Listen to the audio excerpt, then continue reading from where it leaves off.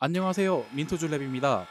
오랜만에 제 목소리가 들어간 영상으로 찾아뵙게 됐는데 그래서 오늘은 또 unboxing 할 거냐라고 생각하실 텐데 아, 뭐 어떻게 보면 unboxing은 맞고요. 지금 보이시죠? 오늘 unboxing 할 게임은 파워그리드 재충전입니다. 그런데 여기서 또 unboxing만 하면 재미없으니까 이렇게 2판과 비교를 하면서 기존의 2판 보유자도 구매할 가치가 있는가에 대해 같이 다뤄보도록 하겠습니다 일단 파워그리드는 이번 재충전 버전을 포함하여 총 3번이나 한글판으로 발표했는데 2008년에 파워그리드 1판, 2017년에 파워그리드 2판, 그리고 올해 11월에 재충전 버전이 발매가 되었습니다.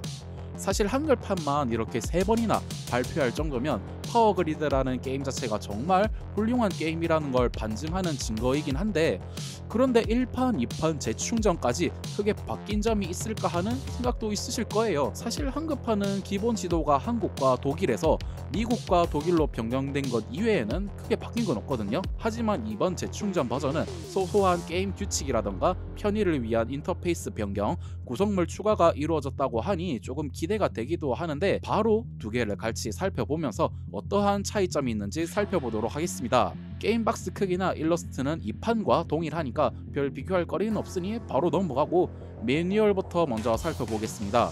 매뉴얼은 비슷해 보이면서도 살짝 다른 부분이 있긴 한데 이번 영상을 촬영하기 전에 변경된 규칙이 있다고 하길래 미리 살펴볼 겸 해서 매뉴얼을 미리 읽어봤어요. 읽어봤는데 확실히 2판 매뉴얼에 살짝 애매모호하게 설명해놓은 규칙들을 이해하기 쉽도록 변형이 되어 있고 파워그리드를 해보신 분이라면 알겠지만 파워그리드 게임 안에서 크게 세 구간으로 규칙이 살짝 변경되는 구간이 있거든요. 이 판에서는 그 구간을 1기, 2기, 3기로 표현을 했는데 이번 재충전에서는 1시대, 2시대, 3시대 단어로 변경이 되었습니다. 이러한 세세한 표현의 변화뿐만 아니라 2인 플레이 규칙 추가, 발전소 경매 부분에서 살짝 변경된 규칙이 있고 그 점을 제외하면 2판 매뉴얼하고 동일한 구성과 레이아웃으로 되어 있습니다. 기본 지도입니다. 재충전 버전도 2판과 동일하게 미국, 독일 맵으로 이루어져 있습니다.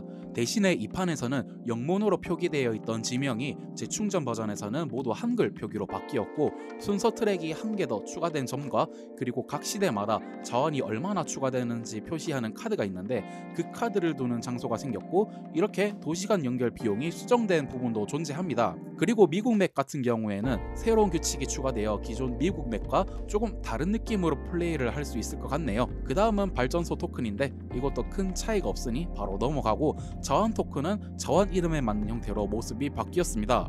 기존 2판은 정말 투박하게 육각 큐브 원통형 같이 디자인되어 있는데 각 자원들이 조금 더 석탄 모습 같고 석유 같고 쓰레기 같고 아 물론 compo가 쓰레기 같다는 게 아니라 자원 이름이 쓰레기고요. 우라늄도 우라늄 같이 만들어졌습니다. 사실 기존 2판에서 석유 자원이 원통형이라서 한 번 쓰러지면 막 이리저리 굴러다니고 불편한 점이 많았는데 그래도 원통형 지옥에서 벗어나는 것만으로도 아주 훌륭한 변화라고 생각이 듭니다. 그 외 추가된 규칙에 사용되는 meeple과 게임의 편의성을 업그레이드 시켜주는 meeple들이 들어있습니다.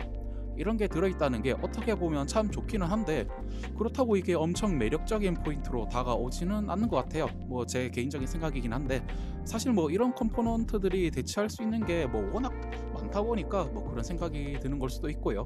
이렇게 나무 토큰들은 다 살펴봤고 종이돈 역시 이 판과 동일하게 어 뭐 그냥 그러니까 바로 넘어가겠습니다. 마지막으로 게임 카드입니다.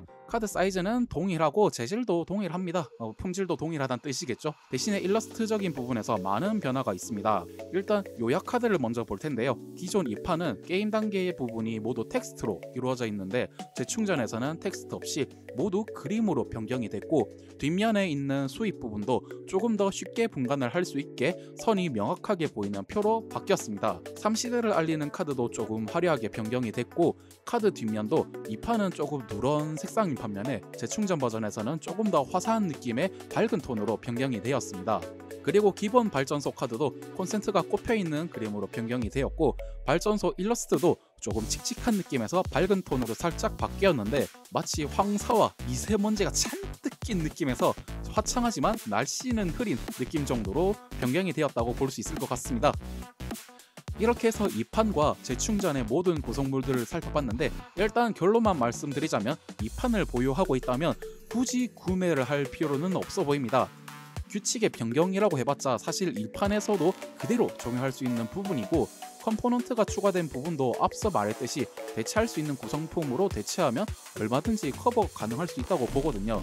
대신에 일러스트적인 부분이나 미국 맵에서는 대신에 일러스트적인 부분이나 미국 맵에서 특수 규칙 추가, 앞서 보신 자원 추가 표시 카드처럼 대체하기 힘든 부분도 있기는 있습니다.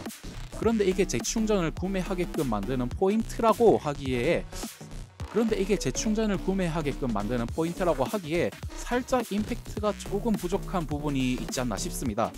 추후에 추가 지도 확장이 발매된다고 하면 극적인 변화가 있지 않는 이상 그때도 과연 재충전을 구매해야 할 요소가 생길까 싶긴 하지만 아직까지는 이 부분에 대한 건 정확하게 나온 건 없으니 재충전에 대한 구매는 맵 확장이 정식으로 발매될 때 고민해봐도 늦지 않다고 말씀드리고 싶습니다. 오늘 영상은 여기까지고요. 시청해주셔서 감사합니다.